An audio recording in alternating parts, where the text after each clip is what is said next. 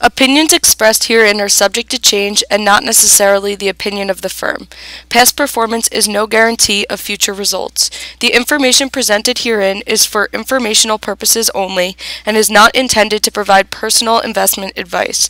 It is important that you consider your tolerance for risk and investment goals when making investment decisions. Investing in securities does involve risk and the potential of losing money. The material does not constitute research, investment advice, or trade recommendations. And now introducing Mr. Keith Lanton. Hi, good morning. August 31st, last day of August. Got Labor Day next week. Lots going on in financial markets, which is a mirror of a lot that's going on in the country. So uh, we'll talk about some different thoughts this morning. I'm going to talk about uh, a follow-up to last week where I discussed some uh, critical habits and one of which was getting enough sleep. And this morning, I'm going to talk about uh, why sleep is so critically important, some interesting studies, and some interesting thoughts on sleep. Uh, and then we'll uh, talk about this morning's news, and we'll talk about some articles from Barron's. Uh, Barron's this week had a headline story uh, discussing the municipal market. Uh, Brad and I discussed it yesterday. I'll talk a little bit about it, and then I'll turn things over to Brad to talk some more about that and some other commentary from Barron's as well. Some interesting uh, thoughts, some ideas, and uh, share it all with you this morning. Read a book entitled Why We Sleep. It was written by Matthew Walker and goes through some things that are somewhat intuitive uh, to us, uh, nevertheless. Uh, intuitive that uh, sleep is critically important, intuitive that we need to get a lot of it, but it's something that many of us, although we know it fundamentally, nevertheless don't practice what we know. So one of the things to think about that uh, we discussed that sleep is a critically important habit, helps us think better, among other things. Um, Mr. Walker, who wrote the book, uh, said that uh, that he, who has dedicated his life to studying sleep in particular, is convinced that getting enough sleep is a huge advantage in life. And some of the things uh, to think about with sleep, uh, scientific studies uh, have demonstrated, and Mr. Walker has has uh, summarized them that uh, there is a very direct correlation that the shorter you sleep, the shorter your lifespan. And that sleep is the most effective thing we can do to reset our brain and body and health each day. And interestingly, many of us have heard of a circadian rhythm, which is the rhythm largely uh, set uh, by our bodies, and it is uh, largely dictated by our exposure to light and a gland uh, in the back of the uh, back of the eyes that is in the brain that perceives how much light we are experiencing and uh, and is one of the signals to our body to begin sleep and this is the uh, circadian ry- rhythm. Now many people who have trouble sleeping he points out often take uh, a, a, supplement um, which is melatonin. Um, melatonin helps regulate that circadian rhythm and that's why if you're having trouble sleeping, sometimes you thought that melatonin will help.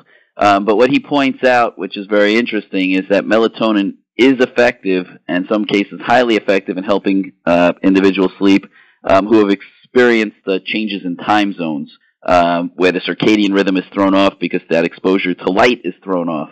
Um, but what he uh, goes through many scientific studies pointing out that uh, while melatonin helps regulate that cir- circadian rhythm, um, that uh, melatonin has very little influence on the generation of sleep itself. So if your problem is not uh, difficulty sleeping because your circadian rhythm is off, which in many cases it's not unless you've been traveling frequently or have another reason that your circadian rhythm is off, perhaps you're a uh, uh, working the night shift, um, that many who are taking melatonin uh, are not taking it for the right reasons, and any benefit that they may be experiencing is a placebo effect.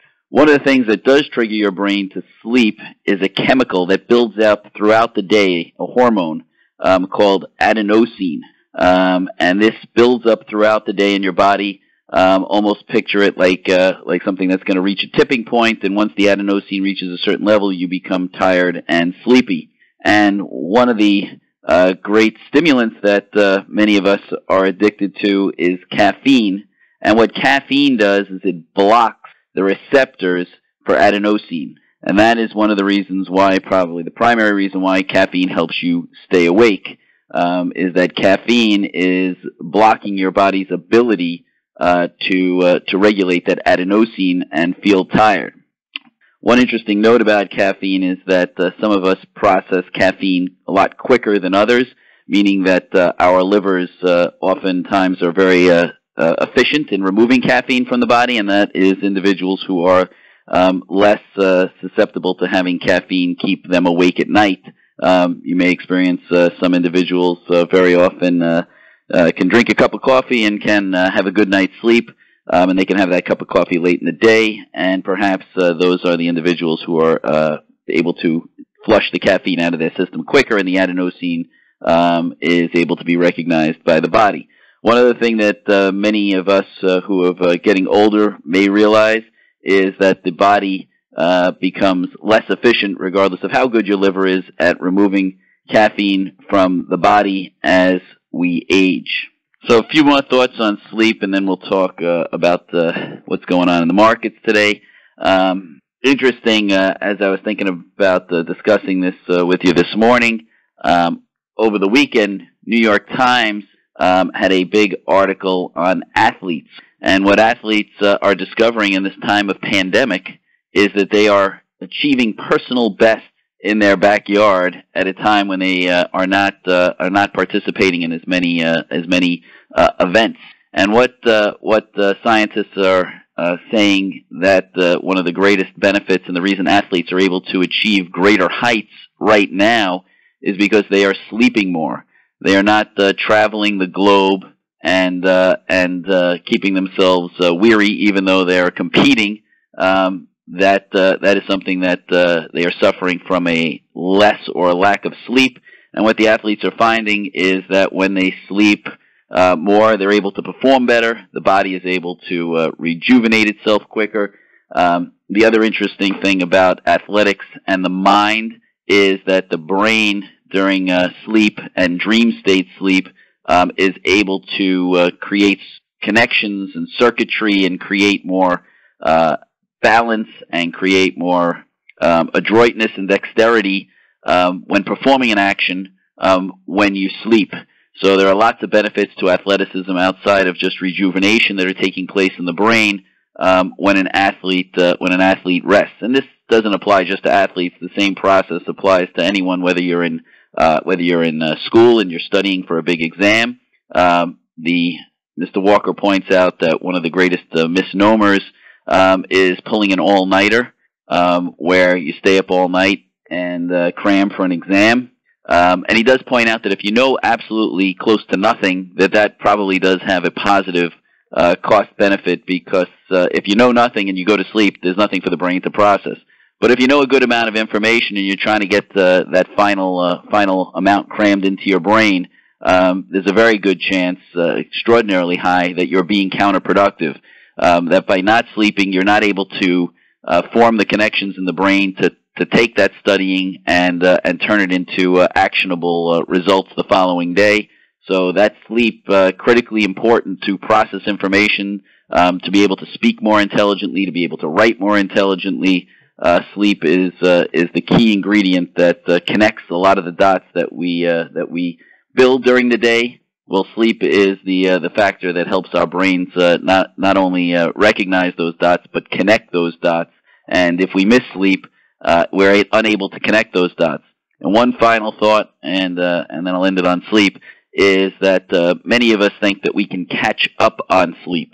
So we only got five hours of sleep tonight, but uh, tomorrow night we're going to get 10 hours and then we'll be good again. Um, you may be good again in the sense that you don't feel as tired when you catch up in sleep, uh, but the connections in the brain do not get made up for. So if you get five hours of sleep um, and you miss uh, miss out on con- making some brain connections, uh, getting 10 hours the next night is not going to help forge those connections which were lost. So less sleep, lack of sleep one night does not translate into anything that can ever be gotten back again, uh, is what Mr. Walker points out. So uh, something to think about when you think, hey, I'll just uh, I'll just uh, make it up later. Um, you are, are unable to uh, make that up uh, in terms of uh, the benefits of sleep. Uh, you won't get those back. All right, so hopefully everyone's well rested, and hopefully one will be well rested this week and uh, be able to uh, have a much more productive uh, week this week as well as uh, as well as every week going forward um, with that knowledge. So this morning we are looking at a market that uh, has continued to power higher. Um, Barron's ran an article uh, this morning. Uh, the stock market is a run- runaway train of, that nothing can stop, um, saying that uh, last week may go down as the week that the stock market officially went crazy. You wouldn't know it from looking at the major indices, which were higher, but not off the charts uh, higher, but uh, meaningfully higher. Dow was up 723 points, 2.6 percent. Um, looking at the S&P, it was up 3.3 percent to 3508. Um, put that 3508 in perspective, you may remember Goldman Sachs when the market was around 3250 came out and raised their target for year end on the S&P to 3600 from 3000. That was viewed as somewhat aggressive at the time, and here we are almost at that level just a few weeks later. Nasdaq was up 3.4% to 11,695. Both the S&P and the Nasdaq closed at all-time highs. Um, even the small cap Russell 2000 finished the week up 1.7%. Um, Russell continues to lag uh, the other indices. Small and mid cap stocks continue to lag the large cap stocks, uh, which are uh, FANG heavy, and we'll talk a little bit about that. So last week, what happened? Well, we had uh, Apple and Tesla racing higher ahead of their splits. Uh, both stocks are trading post-split this morning. Um, Apple this morning uh, is trading around 126 uh, per share. Tesla's around 446 per share. Uh, put that in perspective, Apple's up a little over a point. Tesla is up about three and a half points pre-market. Uh, four for one and five for one respective uh, splits. Um, also, last week uh, we had an interesting pair teaming up to possibly bid on the U.S. operations of TikTok, which was uh, um, Microsoft and Walmart uh, getting together. And then on top of that, last week we had uh, Salesforce.com, symbol CRM. Um, it initially moved up in the beginning of the week uh, by being added to the Dow. And then on Wednesday, uh, they came out with uh, earnings uh, after uh, rising about 3.5% on the Dow ad and then the stock soared 26%. Uh, now, the uh, author here uh, in the Barron's article, Ben Levisohn, points out uh, that uh, that kind of move in a large cap stock um, like uh, like Salesforce is something that is something you see when there is market froth or an overheated market. Um, when you see a stock like uh Salesforce shoot up 26 percent on earnings, um, despite the fact that they had a meaningful earnings beat. Uh, nevertheless, uh, that sort of uh, that sort of uh, run up is something that uh, has uh, has some people uh, reminding them of uh, events in uh, in 2000 um, when you saw earnings come out and crazy reactions in uh, in stocks that you thought uh, the markets were efficiently uh, valuing. Um, article also talks about a strategist at Bank of America, Savita Subramanian, um, and uh, the strategist at B of A um, points out that uh, even though uh, equity markets are high um, over the long term, equity markets uh, remain the asset uh, choice um, over the long term. Um, points out that there is a 46% chance of losing money in any one day if you invest in the S&P 500, but only a 6% chance of losing out money in the S&P 500 if you hold for a 10-year time period. And then he goes on to remind us uh, of the fact that uh, if you miss out on just the few best days of the year, uh, that your percentage gains from holding the S&P 500 are dramatically uh, lower. A couple of uh, news items uh, this morning. Um, we are seeing Gilead in the news, GILD, the FDA expanding the use of remdesivir to treat all hospitalized patients with COVID-19. Over the weekend, we had some more uh, politically charged violence. Uh, this uh, this time in uh, Portland, Oregon. Um, AT&T in the news. They are in uh, early talks uh, to sell their DirecTV business. Wall Street Journal reporting that Apollo Global Management may be interested. Um, journal citing citing potential price there um, of of a valuation of around twenty billion dollars.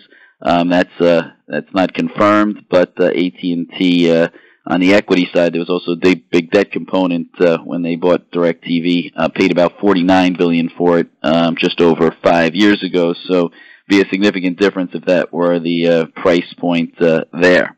Um, U.S. Treasuries are trading mixed. The two-year is down two basis points. It's yielding 13 beeps. Ten-year is up one basis point to 74 beeps. Uh, U.S. dollar index uh, continuing to trend lower, down two tenths of one percent. Um, West Texas Intermediate is up uh, 50 cents or one plus percent to $43.47 a barrel. Uh, Berkshire Hathaway uh, in the news, bidding up uh, slightly this morning. Um, news that the company invested six billion dollars in five Japanese companies.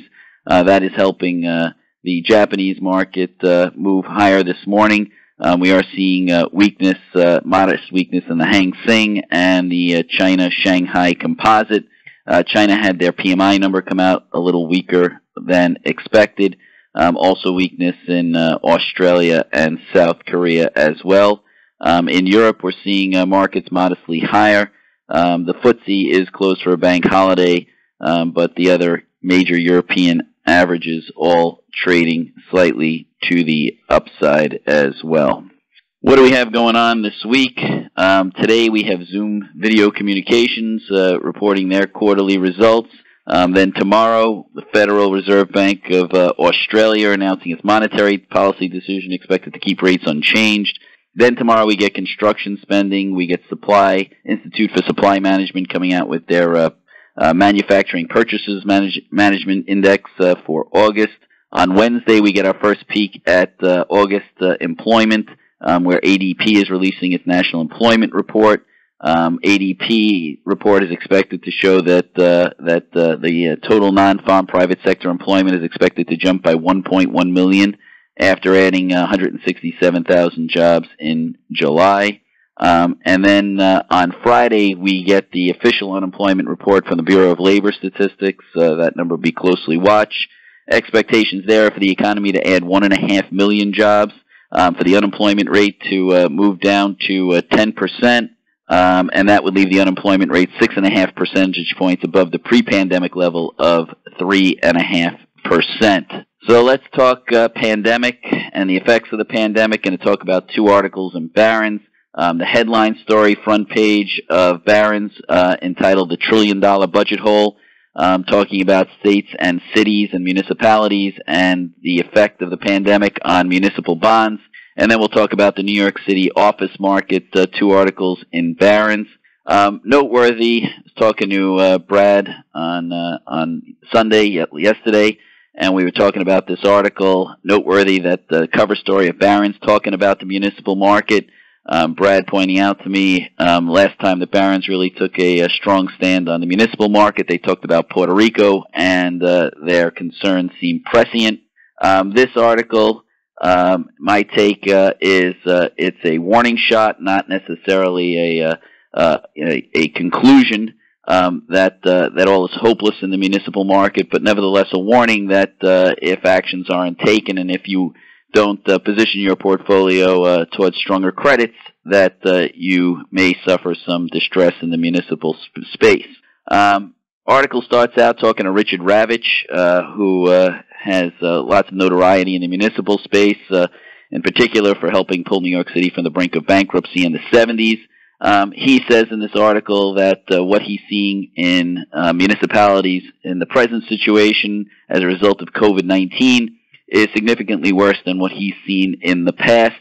Um, and he says it's worse because the revenue shortfall is uncertain and horrific. Um, he says there's an enormous loss of revenue going on, and we don't know how long it will last. Um, Barron's points out, try telling that to the $3.9 million market for municipal bonds. Um, in fact, municipal bond prices have surged throughout the pre- pandemic, the result of the sector's solid performance in previous period of stress. Now, as Brad has previously pointed out, yields right now are very low on municipals. Um, it's about seven tenths of one percent for top-rated ten-year munis. Um, but uh, as he's also pointed out, uh, that is uh, relatively attractive when you're looking at a 10-year Treasury yielding 74 basis points. So when you take into account the uh, tax benefits, uh, although the yields are very low, they are attractive relative to the alternative. Um, but this article points out that the alternative is not very attractive either. So the question comes down to are yields uh, high enough to compensate investors for r- the risks? And uh, you know the conclusion here is is maybe, and we'll talk about what maybe means and uh, where risk uh, reward might be still attractive and where risk reward um, is, in the author's opinion, unattractive. So let's take a look at the uh, the macro picture. The macro picture is that states are facing a budget shortfall of 555 billion for the next three years. Um, cities about 360 billion for the next three years. You put that together, and you're north of 900 billion.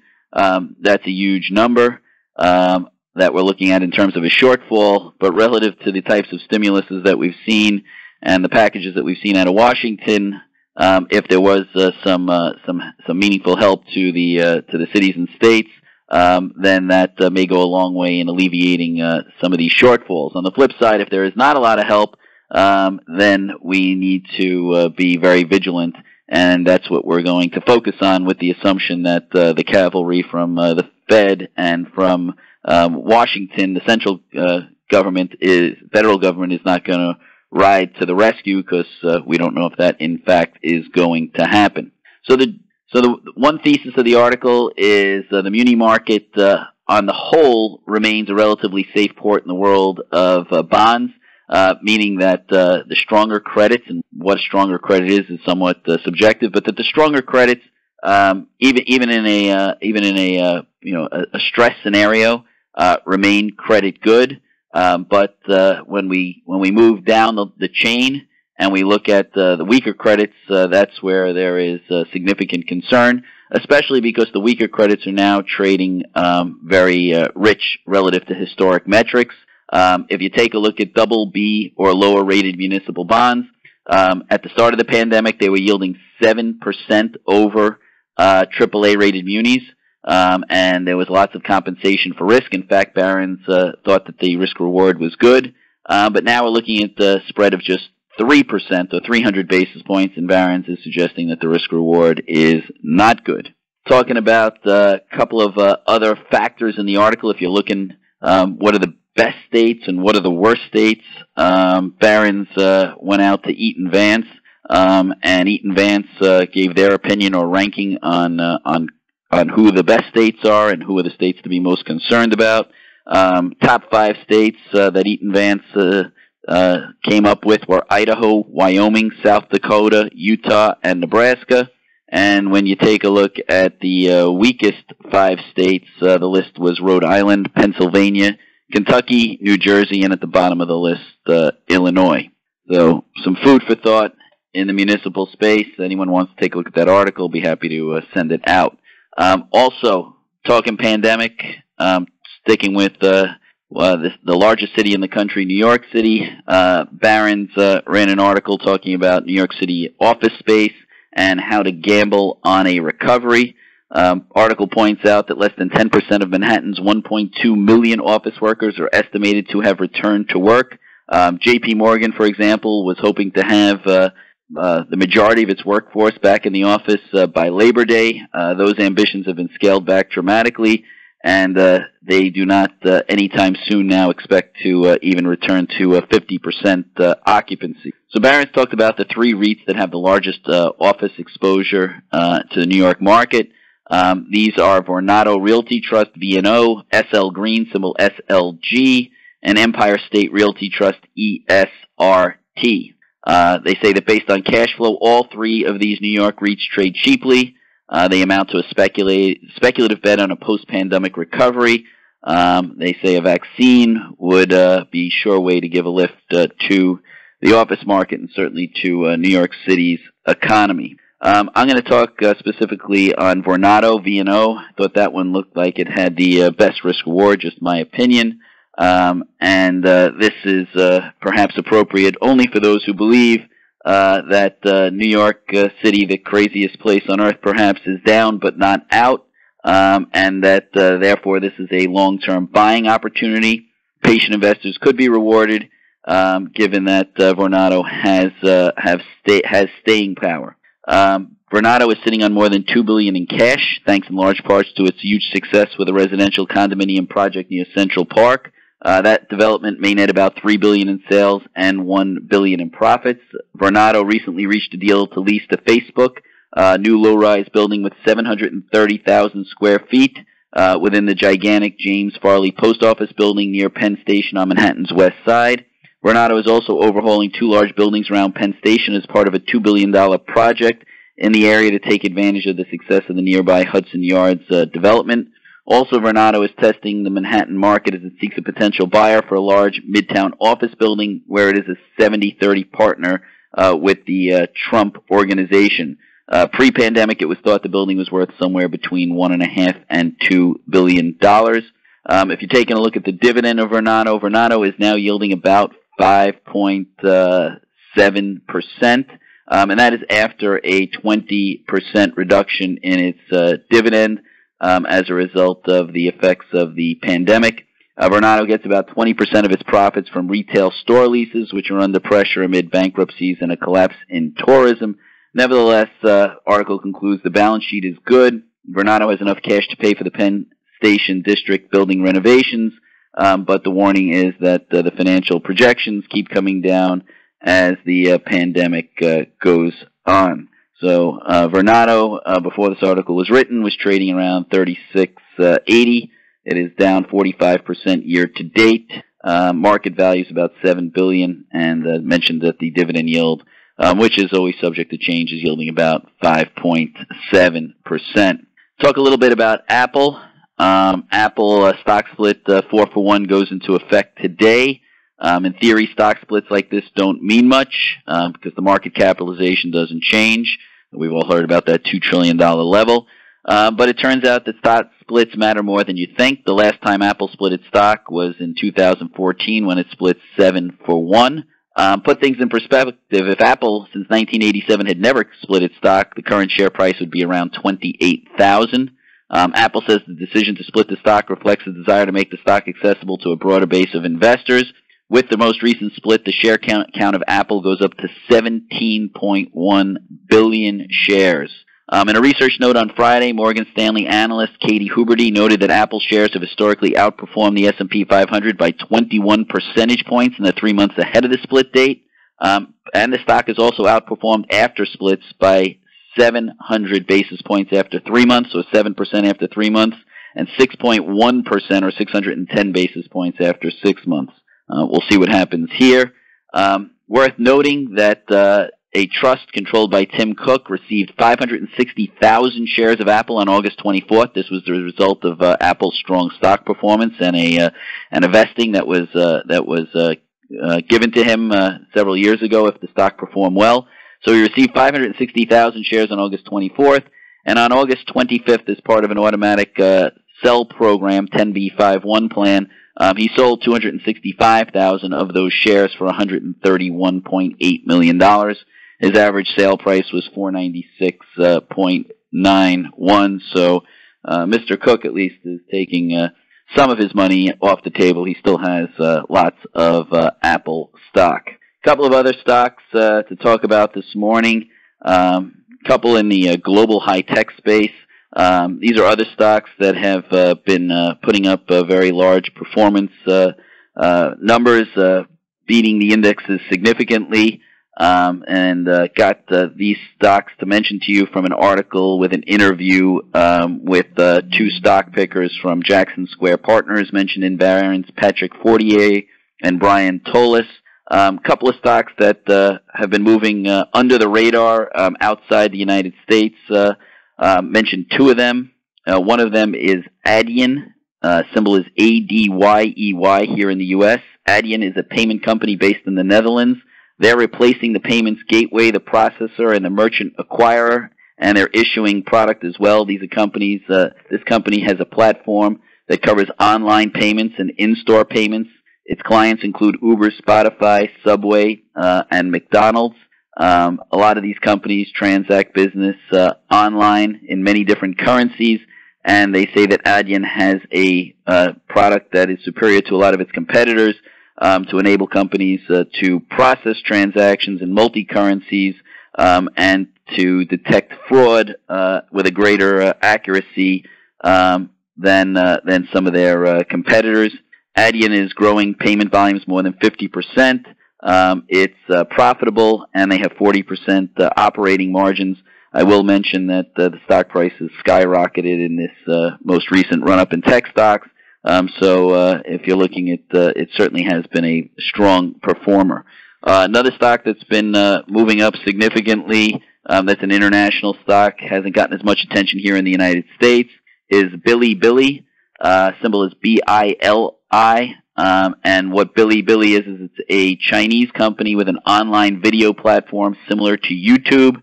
It's very popular with Gen Z in China and rapidly growing its user base and content breadth. Again, stock has uh, moved up significantly um, in the last several months. And finally, mentioned in this article, a U.S.-based company, um, which they say is uh, largely misunderstood in their opinion, is uh, is Uber Technologies, UBER. Um, its poor governance has been well documented in the press. Uh, nevertheless, they're optimistic on Uber's long-term potential. Um, particularly now, they uh, are optimistic about Uber Eats, which is growing rapidly, and they think the consumer behavior has changed and that people will be uh, choosing Uber Eats uh, regardless of if there's a pandemic or not. And uh, they think that uh, the ride-sharing business will be a business that turns around very quickly um, once the COVID pandemic is in the rear view middle, mirror. Um, they say uh, Uber is well positioned, has a robust business model around ride sharing, and long term, in their opinion, it is a quote amazing opportunity. So that's everything I've got. I'm going to turn it over to uh, Brad to uh, give us some more insights uh, on the uh, bond market. Uh, Brad could have helped write that Barron's article, so interested in Brad's insights this morning. Good morning, Brad. Morning, Keith. Morning, everyone. Hope everyone had a good weekend. Can't believe that the summer has flown so quickly, even though every day seems like such a long day because of COVID uh, and and and just uh, the insanity that's going on.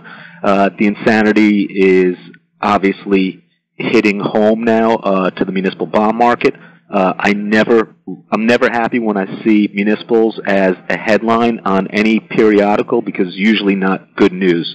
I'm not saying that there aren't positive articles on uh, municipal bonds, but those are usually reserved for the inside market participants, the traders, the institutional buyers, uh, people of that nature. Uh, when when usually uh, a sell-off is overdone and uh, and and you come on, you come and see, you come in, and you start seeing positive articles about municipals uh, being oversold.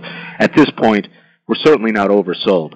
Uh, we have been tra- we have been rallying with uh, treasuries, and uh, the rates of return are, are low for municipals. However, as Keith said earlier, and I've said the last few weeks, relative to everything else, uh, on an after-tax basis, they're still uh, the cheapest thing around if you're going to be buying bonds for a portion of your portfolio. So the municipality is going to have to make some tough decisions here. Uh, they're going to have to determine what kind of layoffs they're going to have have to make to meet budgets. Uh, they're going to there are going to be votes uh, for issuance of bonds, which uh, taxpayers may not want to, to pay for at this point. So you may have deteriorating services. Um, but there's no question that municipalities are still going to try to take advantage of these low rates. And uh, with the Fed backstop, uh, there will still be issuance. I say this every week. Review your portfolio. Make sure you're comfortable with what you have for down the road. Um, it's it's interesting as I do my as as I write my offering pages uh, every morning. There are more and more bonds that have material events uh, listed on them, and we're all going to have to get comfortable with that as the new the new normal. Uh, I know many of you have been looking to buy bonds without material events, which is uh, wise. Uh, there are bonds out there that still haven't been hit, but eventually, uh, more than likely, everybody will every every issuer will be put on some form of credit watch. It doesn't mean that anything's going to happen. I mean, the U.S. government was downgraded, so it, it ultimately doesn't have to mean anything just because you go on negative watch. Um, my thought is that if you get downgrades, that everything will seem to stabilize at in the triple B range. And when you really think about what the triple B range means for municipal we have gotten very comfortable with buying double A rated bonds. Uh, that seems to be the gold standard. Uh, but when I look at what's rated triple B in the corporate world, you look at American Express and Wells Fargo and Goldman Sachs. They're all in that S&P triple B range, and most people wouldn't think twice about putting those in their portfolios. So that's where we're going to get to potentially in municipals, and that's what we're going to live with. And hopefully, at that point, uh, you'll get paid a little bit more, uh, and you will stabilize with that triple B range. And uh, at a certain point, when the pandemic subsides, we will bounce off the bottom uh, and and start seeing upgrades again, like we do in every cycle. Uh, just going back to those corporate bonds I mentioned, American Express, Wells Fargo, Goldman. When I look at those bonds, to me, they look as if they trade like a double A rated bond, not a triple B bond. So all triple B, not all triple Bs are not are the same, not all double A's are the same. So it's definitely important to do your homework, and a lot of homework with municipalities is logic. What's what's the what's community composed of? How's the school district? Uh, what what kind of business? What kind of enterprise is in the community? And those are the kind of things that we're going to be discussing. And uh, the last thing that I want to mention is uh, we've started looking at insured bonds again. And uh, for many years, the insurance companies uh, disappointed us uh, because they got in above their heads in areas other than municipals. But the insurance companies who are insuring municipal bonds at the moment seem to be relatively stable. And I don't mind uh, looking at bonds with, with insurance, and I would take that to heart. If you're buying a small community, it's nice to have uh, that insurance wrap around it. Uh, so that's all that I have for this week. Thank you, Brad. That's everything I've got. Thank you for listening to Mr. Keith Lanton. For more podcasts, please visit our website, www.lanternwa.com.